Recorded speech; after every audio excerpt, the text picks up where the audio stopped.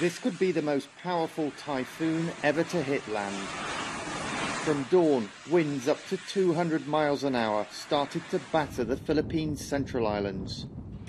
In the eastern province of Leyte, the coastal town of Tacloban was swamped by storm surge. Streets turned into rivers of debris. Satellite images tracked the typhoon's relentless progress. It's now heading towards Vietnam and southern China.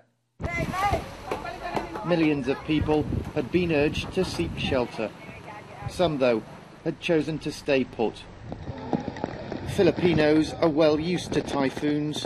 They've had more than 20 this year, but none of this strength. And the country is still recovering from an earthquake last month that left hundreds dead and tens of thousands of people living in temporary shelter. Today, those same people had to face a super typhoon. The president has called for the country to pull together.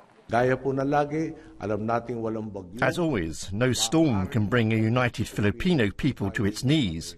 It is my hope that we all stay safe in the coming days. Large parts of the central Philippines are without power, with phone lines also down. And after such heavy rain, there remains a high risk of landslides. People across the Philippines are facing a difficult night. The capital, Manila, has largely avoided the brunt of the damage, but elsewhere, aid agencies are saying that the damage could be unprecedented.